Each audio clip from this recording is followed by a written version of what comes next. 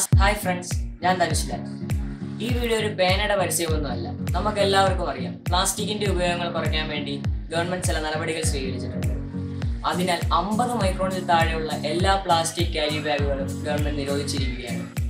School college വിദ്യാർത്ഥികൾ ഏറ്റവും അധികം ഉപയോഗിച്ച് വലിച്ചെറിയപ്പെടുന്ന ഒരു പ്ലാസ്റ്റിക് ഉൽപ്പന്നമാണ് പേന ഇത് നമ്മൾ റിയൂസ് ചെയ്യുന്നില്ല. അല്ലെങ്കിൽ റിയൂസ് ചെയ്യാൻ പറ്റാത്ത വിധത്തിലാണ് ഈ പേനകൾ നിർമ്മിച്ചിരിക്കുന്നത് ഇതിനൊരു പരിഹാരമായി ഞാനിവിടെ കൊണ്ടുവന്നിരിക്കുന്നത് റോളർ ബോൾ പെൻ കാറ്റഗറിയിൽപ്പെട്ട ഒരു പേനയാണ് ഈ വീഡിയോ കാണുന്ന ഒട്ടുമിക്ക സുഹൃത്തുക്കൾക്കും ഈ പേന അറിയാമെങ്കിലും ഇതിന്റെ സവിശേഷതകൾ എന്തെങ്കിലും ലെക്ചറിന്റെ റോളർ ബോൾ പെൻ കാറ്റഗറിയിൽപ്പെട്ട പൈലറ്റ് ബി സെവൻ എന്ന പേനയാണ് ഇപ്പോൾ എന്റെ കയ്യിൽ.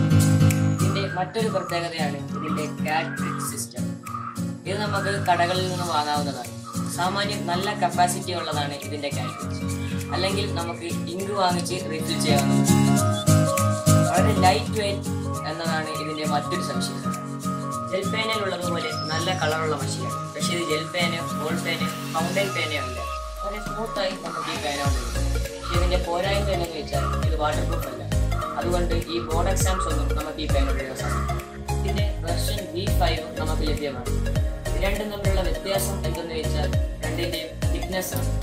വി സെവന് വി ഫൈവിനേക്കാൾ ലെറ്റേഴ്സിന്റെ തിക്നെസ് നൽകും ഇത് രണ്ട് കാറ്റജിന്റെ ഒരു പാക്കാണ്. ഇതിന്റെ വില എന്ന് വെച്ചാൽ ഇരുപത്തഞ്ച് രൂപയാണ് ഇതിന്റെ വില.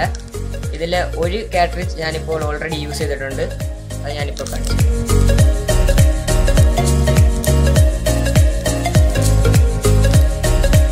ഇതാണ് ഒരു കാറ്ററിജ് ഞാനിപ്പോൾ ഇത് യൂസ് ചെയ്ത ദാ ഇതാണ് ഞാൻ യൂസ് ചെയ്യാത്ത കാറ്ററിജ്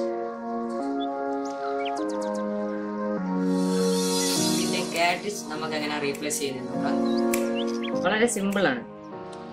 ഫസ്റ്റ് നമുക്ക് ഇതിന്റെ ബോഡി ഊരാം. എന്നിട്ട് നേരെ പിടിക്കുക. അല്ലെങ്കിൽ ലിങ്ക് ജസ്റ്റ് ഒന്ന് താഴോട്ട് വലിക്കുക. എന്നിട്ട് നമുക്ക് റീപ്ലേസ് ചെയ്യാനുള്ള ലിങ്ക് എടുത്തിടാം. ഇതിപ്പോൾ ഞാൻ അത് തന്നെ തിരിച്ചു ജസ്റ്റ് ഒന്ന് പ്രസ് ചെയ്ത് കൊടുക്കും.